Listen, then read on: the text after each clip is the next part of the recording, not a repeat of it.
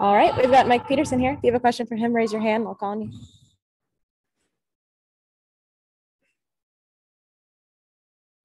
Spencer Nussbaum, we'll start with you. Go ahead.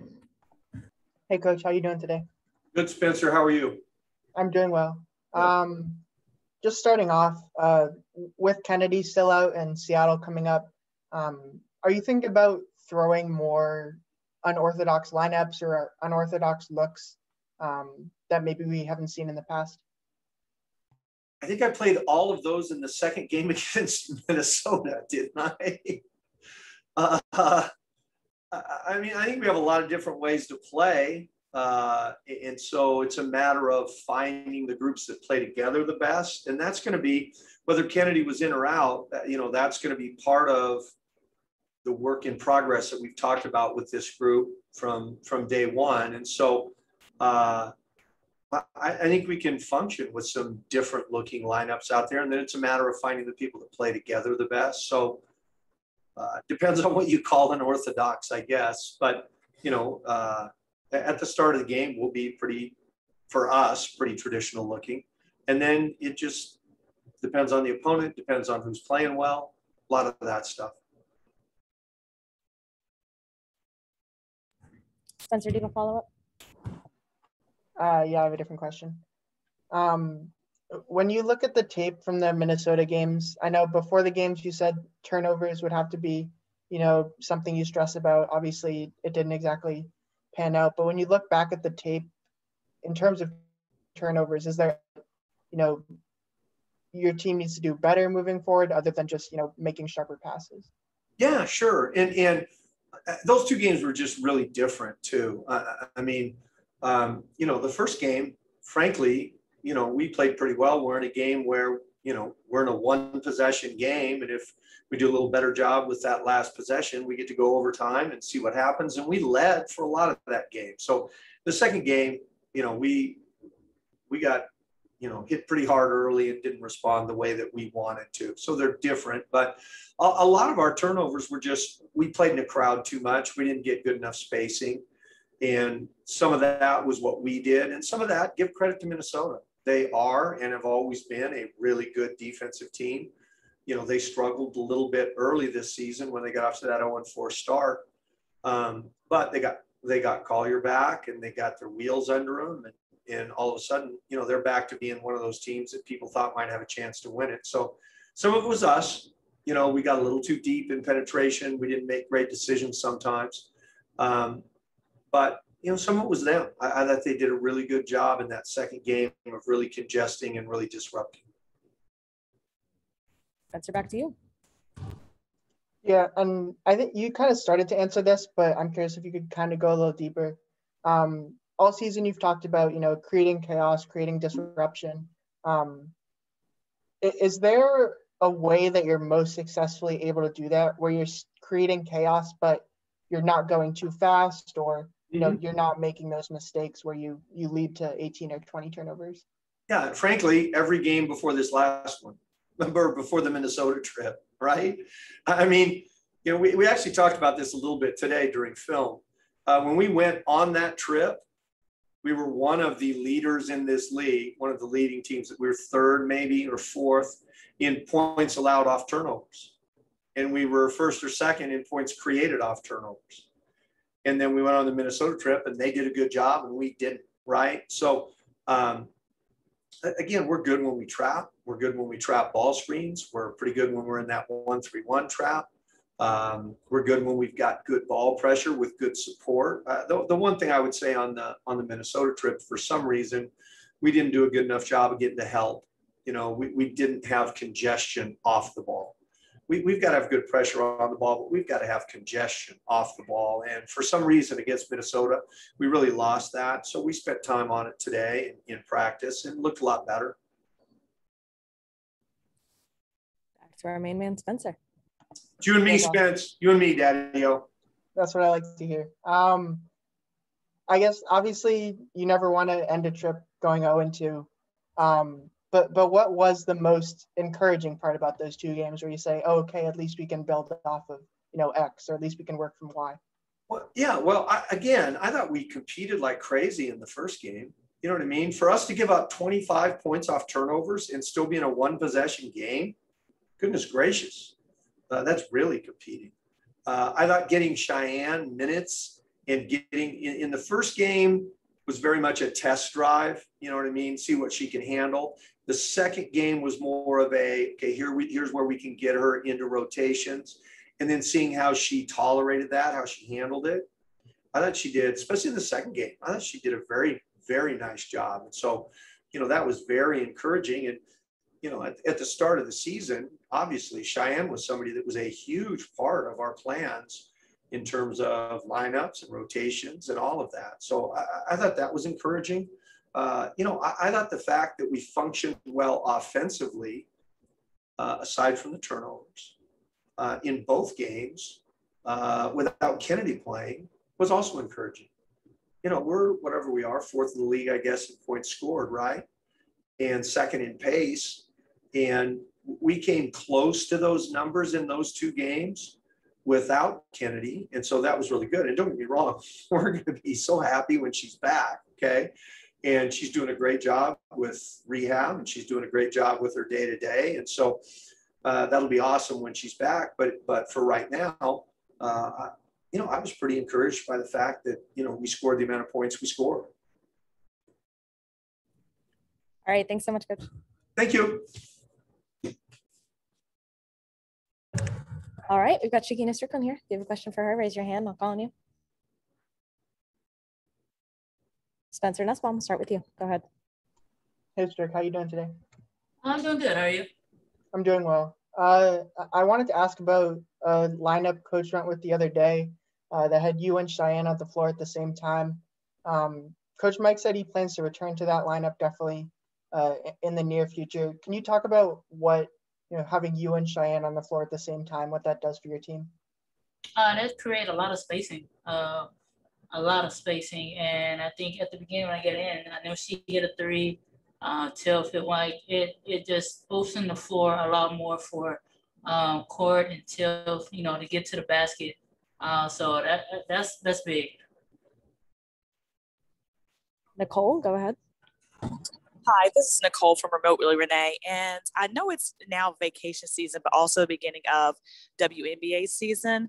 Um, but are, what are you looking forward to as far as a vacation, or where is a place that you would love to go on vacation? Oh, definitely want to get to Dubai, Jamaica, um, uh, something like that, uh, just to get away uh, I don't even want to use my phone or nothing, just relax. Spencer, we'll go back to you. Go ahead. It's hard for me to follow up that question, but okay. Um, I know that your knee was giving you problems earlier in the year. Um, how do you feel at this point in the season? How are things coming along? I feel better. Um, we're still working on it. I just got to get it back stronger. Um, at times it that kind of feel weak.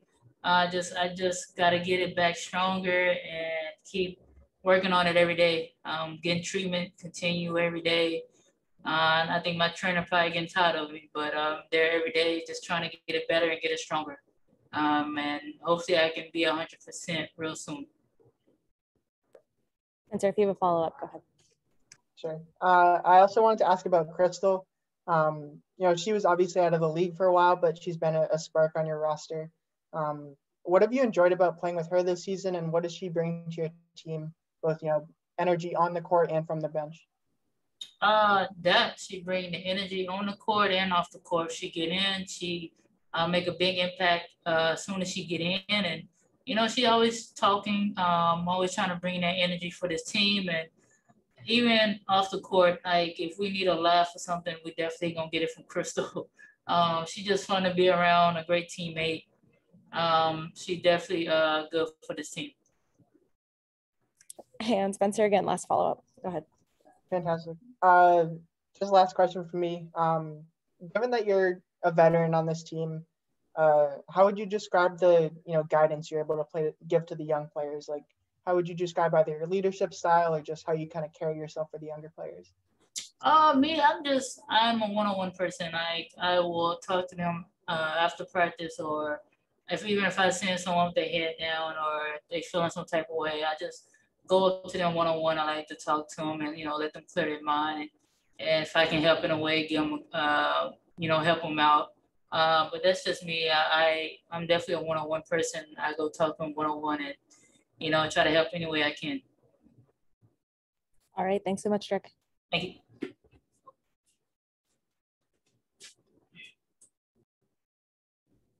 All right, we've got Chennedy Carter here. If you have a question for her, raise your hand. I'll call on you. We will start with Spencer Nussbaum. Go ahead, Spencer. Hey Chennedy, how you doing today? Good. How you doing? Good, and it's good to hear that. Um, I- I'm curious just if there's an update on how you're feeling, uh, you know, what the doctors have told you, and if you have any sort of estimate on your return. I'm feeling good. Um, really just going day to day. Um, it's a bit of a work in progress because this is kind of the first time I've had anything done to my arm that was kind of a significant um, injury that kind of hurt it. So I'm just taking it day by day. Um, it's kind of just an elbow sprain and uh, hyperextension. I had a lot of a little bit of swelling. Well, I will say a lot, but now I just have a little bit of, of swelling that's going down, and um, I think I should be back pretty soon, sooner than I thought, honestly. Spencer, if you have a follow up, go ahead. Yeah, just since you say you will potentially be back pretty soon, um, I did want to ask about something on the court. Uh, the other day when I was asking Cheyenne about who she was, you know, most looking forward to play alongside, uh, she brought up your name. Um, what do you look forward to in terms of playing alongside Cheyenne? Uh man, I mean she's a post that can really do all things. She can shoot the three, and that's really important. Just be able to shoot the ball, uh, just coming off the ball screen uh, with me and her. I'm really excited to play with her uh, when I get back. I know we'll have to, you know, work on chemistry because I've been out, she's been out. It's been a little bit of here and there, but as soon as we get going, as soon as we get rolling, I'm I'm excited to play with Cheyenne. I mean, I think our pick and roll is is probably going to be tough to guard and make defenders have to decide which one they want to guard, which one they want to pick. So I think it'll be spicy, us too. Nicole, go ahead. Hi, Kay. This is Nicole from Remotely Renee, and I know that. How you doing? And I know that it is. Um, again, I asked um, Shekinna the same question. It's uh, WNBA season, also it's vacation season. But what's a vacation that you're looking forward to, or is there any particular favorite place that you're planning to go um, as far as vacation is concerned? During the break, Whenever you want. man, whenever I get the chance to take a vacation, I would definitely go to somewhere that has a beach. Like, I don't want it to be in the states. It's got to be out of out of the country. It's got to be somewhere. I got to be like in the Virgin Islands or somewhere. Like, I want to be somewhere there, just different. Maybe Jamaica somewhere like somewhere with an island and a beach, just away. That's my getaway. Doug Feinberg, go ahead. Hey, Chennedy, I'm glad to hear you're on the road to recovery. Yes. Barclays, when you, you got hurt the other day, I'm just curious, how do you rehab an, elbow injury? Because that's not something common, I would think, so to speak. So I do a lot of things throughout the day. Um, it just kind of depends. Some days are easier than most days just because it could be swollen from shooting a little bit. I'm actually working out there on the court a little bit more, dribbling, uh, going fast, fast speed with the ball, just making sure I still have the same change of direction and great first steps. So, but on the rehabbing part, you it it just it really depends on how it feels. So I have to start with range of motion. I do range of motion every day. I do a lot of stem to get blood flow moving and then sometimes to get the swelling out. And then we just did a new machine today. I don't know what it's called, but it was supposed to take some of the pain away that I was still having. So it varies. Um, it, it changes every day. But I definitely have to continue to ice and continue to do range of motion and make sure that I get shots of every day. Spencer, back to you for the last question. Go ahead. Sure. Uh, I also wanted to ask about Crystal Bradford. Um, she's obviously been a spark on this roster. I think it's Yeah, for sure. from the videos and obviously what she's done on the court that you know her personality and just her play has been huge for this team. Um, can you just talk about in your words, you know, what she's brought on and off the court? I think Crystal is a special player just because she's tunneled in on what she can do and how she can perform.